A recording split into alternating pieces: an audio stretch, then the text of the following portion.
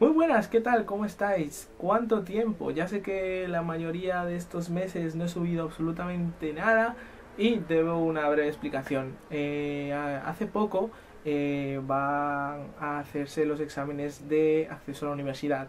Entonces yo culminé mis estudios y quiero acceder a la universidad. Y claro, para ello hay que hacer unos exámenes eh, que en este año se llama EVA o algo así. Es que tiene un lío con lo de las leyes de educación y tal, y cambian cada año el nombre de los exámenes. Pero bueno, la cuestión es eso, me voy a meter en la universidad este año y claro, había que estudiar muchísimo, entonces pues no tenía muchísimo tiempo, no tenía un huequito ahí para subir vídeos. Pero bueno, volvemos mejor que nunca, porque hace unos días me contactó Orange, ya que tiene una comunidad cerrada de youtubers, y me dijo que me gusta, le gustaba mi canal y que eh, me ofrecían un terminal para probarlo. Entonces eh, yo le dije que genial, eh, me enviaran el terminal y yo lo probaba unos, eh, unos días y claro, les daba una review, una review a cambio perdón, en mi canal. Y ellos obviamente, obviamente aceptaron y pues em, me ofrecieron el primer terminal que me han dado. Y claro, a ver si me envían más terminales a lo largo de, de este tiempo. A ver si de vez en cuando te traigo terminales que me envía Orange para probar. Eh, esta, este terminal que os traigo hoy eh, va a ser el unboxing del LG K4 2017. Tampoco estamos hablando de un terminal, como he dicho, no tengo un millón de suscriptores. Eh, no estamos hablando de un terminal de un iPhone 200, un iPhone 7 Plus, como el que tengo yo aquí. No, no estamos hablando de un terminal así, pero tampoco estamos hablando de un Nokia eh, de hace 30 años. Estamos hablando de un 2017. Este es la caja que le mandan a los testers en ese caso, porque yo lo voy a tener unos días y se lo voy a devolver a Orange. Esto es únicamente para hacer un unboxing y una review de este terminal. Dicho todo esto, lo he dicho todo muy rápido, pero espero que hayáis entendido. Dicho todo esto, vamos a la, al unboxing, perdón, y luego em, vamos a encenderlo y tal, y lo probaré unos días y os traeré la review, ¿vale?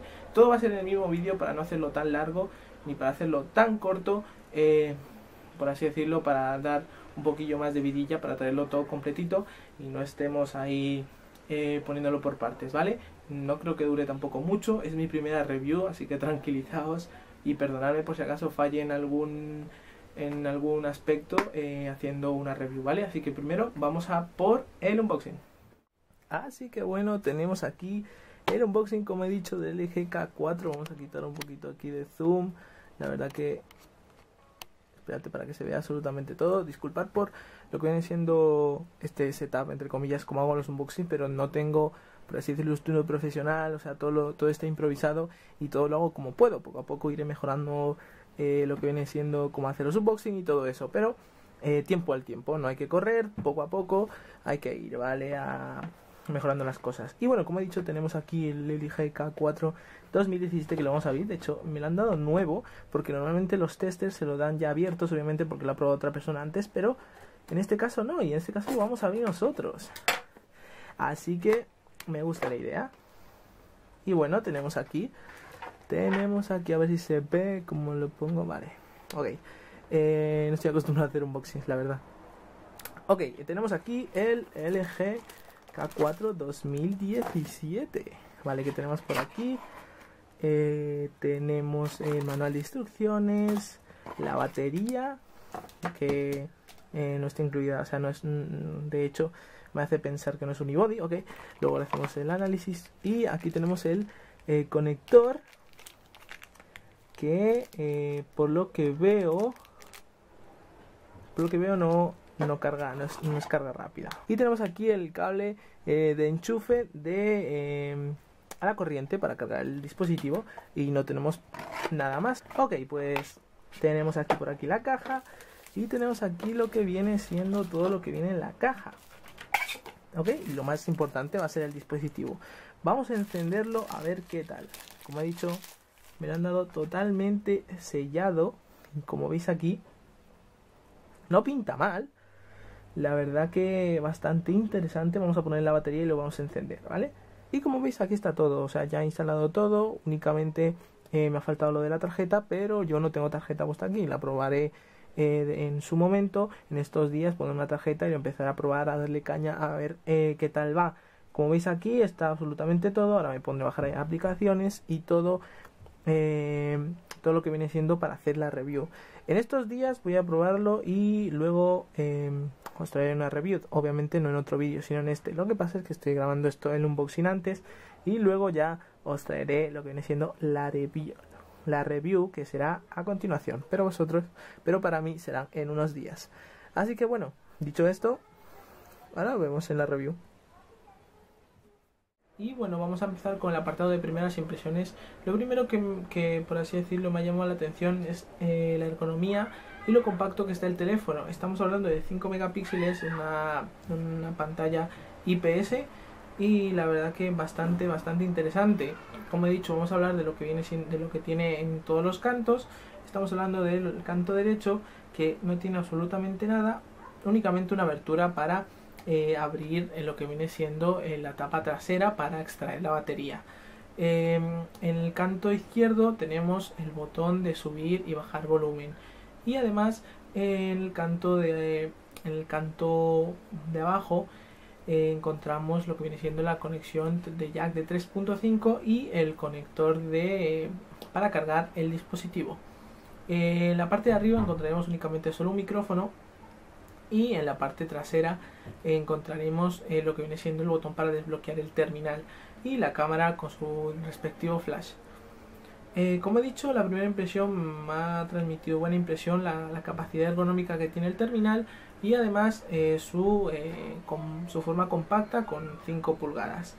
Eh, aparte de ello, también tengo que decir que me esperaba un terminal bastante menos resistente. Tampoco he dicho que haya probado tirándolo al suelo ni nada por el estilo, pero da impresión de que es, es bastante resistente.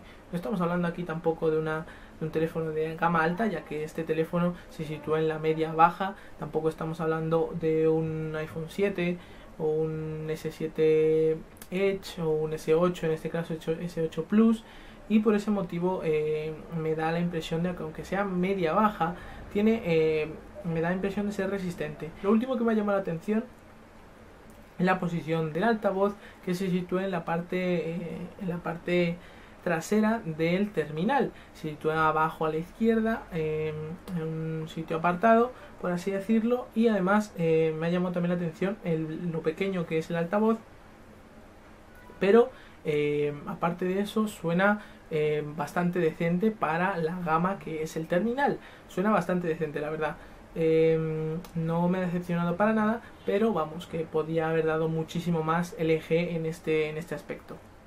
Primero vamos a entrar en el apartado del software, estamos hablando de Android 6.0.1, Marshmallow en este caso, y em, la verdad que bastante, bastante, bastante fluido. Eh, la primera impresión que me ha dado cuando lo he encendido, he estado utilizándolo durante un par de días, y em, lo que viene siendo el Android predeterminado que viene el Android stock, que viene, eh, no me ha dado ningún tipo de problema, ningún tipo de lag ni nada por el estilo, todo ha ido bastante fluido, no he tenido que instalar ningún launcher ni nada por el estilo, únicamente la aplicación que siempre me gusta instalar a los terminales de Android en este caso es el Chroma Keyboard, que la verdad que es una aplicación que eh, para el Android a partir de Android 6.0 viene bastante bien. Eh, es una personalización de teclado que a medida que vas cambiando de aplicaciones eh, va cambiando el color de teclado, por ejemplo Twitter es azul, azul clarito, pues el teclado azul clarito e Instagram es más o menos azul blanco, pues depende, el Facebook es azul oscuro, pues azul oscuro, YouTube es rojo, por ejemplo, y el teclado se pone rojo, la verdad que bastante interesante, y en cambio WhatsApp verde, pues el teclado verde, la verdad que bastante interesante y es una aplicación bastante recomendable. ¿Qué más puedo puedo hablar de LG K4 2017. En el apartado multimedia podemos observar que, bueno, no estamos hablando tampoco de una gama alta, estamos hablando de una gama media baja y, claro, las cámaras, tenemos unas dos cámaras, ambas traseras y delanteras, ambas trasera y delantera eh, de 5 megapíxeles y eh, ahora mismo os dejaré unas imágenes que he hecho así por la calle cuando estaba andando, cuando he tenido que salir y tal, hemos hecho unas fotos para que podáis observar la calidad de imagen que tiene este LG K4. También eh, tenemos grabación de vídeo, 1080 trasera y 720 delantera. Y ahora también os dejo unos vídeos que he grabado para que veáis eh, cómo es la resolución en este caso. Bueno, pues estamos aquí probando la cámara delantera para que veáis ahí un poquito lo que viene siendo el LG K4 2017 que me trago. Y bueno, vamos a ver qué tal, para que veáis un poquito.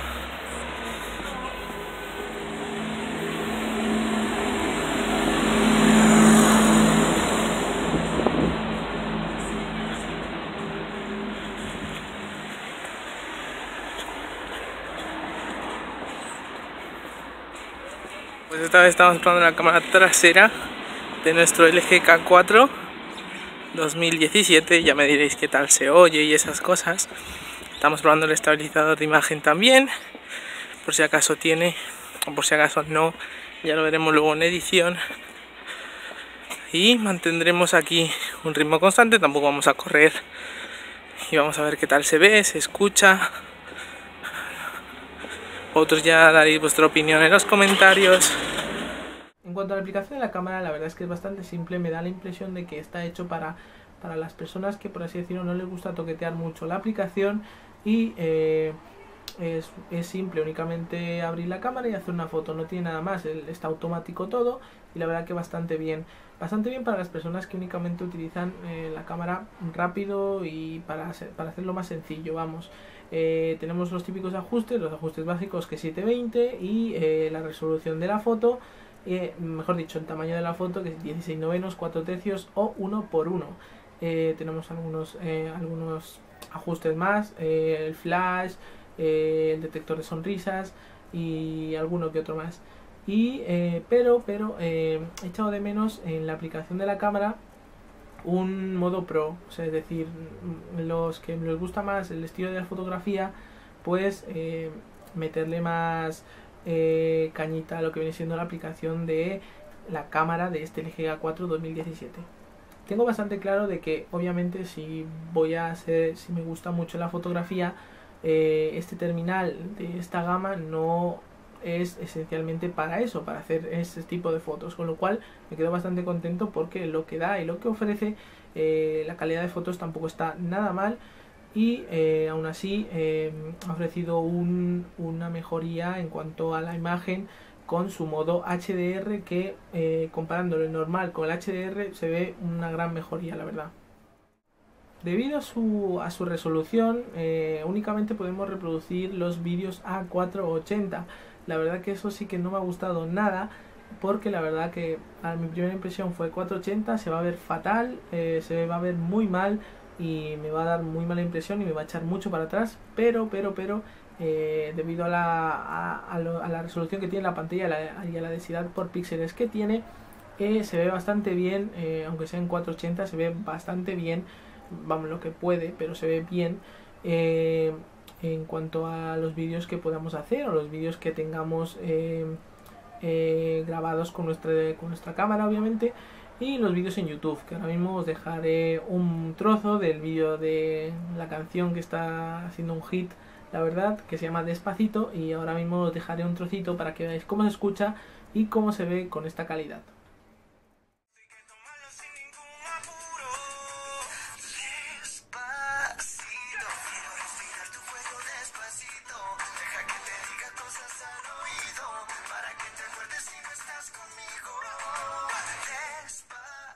En cuanto, en cuanto al estilo de conectividad, tanto el Wi-Fi, el Bluetooth, 4G, eh, lo que viene siendo todas las conectividades que tenemos, eh, me ha ido bastante bien. No tengo ninguna queja respecto a esto. Mm, lo que ofrecen es bastante bueno, con lo cual no, no, tengo ninguna queja respecto a eso. Con lo cual hay un adicional que tiene Radio FM, que la verdad es que lo he disfrutado como si fuera un enano porque como he dicho antes que el radio FM no lo tienen los de gama alta, en este caso mi terminal actual es el iPhone 7 Plus y no lo tiene. Tengo que utilizar una aplicación y gastarme mis datos, con lo cual eso no nos gusta a la mayoría. Por lo cual, un punto positivo por eso. En cuanto a la batería, estamos hablando de 2500 miliamperios y la verdad que eh, aunque creemos que es poco, yo le he dado mucha caña, he instalado todas las aplicaciones que tenía en mi anterior Android, que es un S6 Edge Plus. Eh, eh, le he instalado una, mm, o sea, he puesto otra tarjeta o con otro WhatsApp, le he dado mucha caña, he mirado vídeos en YouTube, he visto hasta una película y la verdad que eh, no va mal, como he dicho, me aguanta un día, un día entero y tampoco le he dado muchísima, muchísima caña, tampoco hay que explotar el teléfono obviamente, pero mi manera de utilizarlo, que es bastante, lo admito. Yo estoy siempre muy activo en WhatsApp, en Twitter, en Instagram, todo pues lo reviso normalmente mucho día a día. Eh, con lo cual em, utilizo el terminal bastante eh, a diario, tampoco al extremo esto es de fundirlo, pero aún así la batería me ha aguantado y en un día entero se ha quedado al 40% la verdad que bastante, bastante bien. No tengo ninguna queja con la batería eh, y además es, es extraíble. Con lo cual, eh, si en un momento se llega a estropear o esto, pues únicamente se cambia y no hay ningún tipo de problema. Aparte de ello, lo único que me queda decir es decir las cosas positivas y negativas que me ha gustado de este terminal. Eh, el punto número uno es el positivo que le voy a dar es porque incluye el radio FM. La verdad que me encanta y eh, que sigan incluyendo en estos terminales de esta gama eh, radio FM. La verdad que dice mucho de estos de, esta gama y de esta marca LG. En este caso tenemos el K4 2017. El, el, otro punto positivo se lo daré a la cámara delantera ya que tenemos 5 megapíxeles y además de esto hace unos selfies impresionantes. No estamos hablando, como he dicho, tampoco de teléfonos de 1000 euros ni 1000 dólares, nada parecido, pero que con 5 megapíxeles la verdad que hace unos selfies bastante buenos. Eh, antes os he dejado unas fotos seguro, pero eh, mi punto positivo va para eso. Mis 10 para el eje. Y mi último punto positivo que tengo es para la batería. La batería contando con 2500 miliamperios tiene eh, una capacidad de, por así decirlo, de aguante bastante, bastante, bastante buena. Eh, me ha aguantado un día entero, como he dicho antes, y eh, tiene mucho, mucho que dar. no lo he probado bastante tiempo, lo he probado una semanita, pero aún así en la semanita entera nunca, nunca se me ha llegado a gastar la batería completa en un día, con lo cual dice mucho. A lo mejor dentro de 7 meses o así, la batería, obviamente, de todos los teléfonos, no solo de este, se empieza a fundir poco a poco. Pero eh, teniendo en cuenta los miliamperios que tiene y siendo extraíble, la verdad que un punto positivo, pero vamos, merecido, muy merecido. El punto negativo que le daría en este caso a este LG K4 2017 sería el apartado de audio. Tenemos teniendo en cuenta que tiene un altavoz muy pequeño en la parte trasera del terminal, no se escucha bastante bien, bastante, vamos, tiene, deja mucho que desear en este apartado porque en cuanto al sonido, vale, se escucha, pero deja mucho que desear. En este caso hay bajos que a veces no se escuchan, eh, no es ni estéreo, con lo cual tenemos un altavoz y nos suena bastante, bastante bien, como he dicho. Además, eh, su fácil eh, acceso a la mano infringe mucho en la salida del audio. cuando estás jugando algún videojuego que tengas que girar el teléfono, puedes tapar con facilidad lo que viene siendo el orificio del altavoz, con lo cual no se oye, si ya se oye poco, eh, se oirá incluso menos si lo tapas, con lo cual es un punto negativo para este LG K4 2017. Así que bueno, este ha sido mi review sobre este terminal. La verdad que no me he extendido, no me he extendido mucho tampoco, no me he enrollado.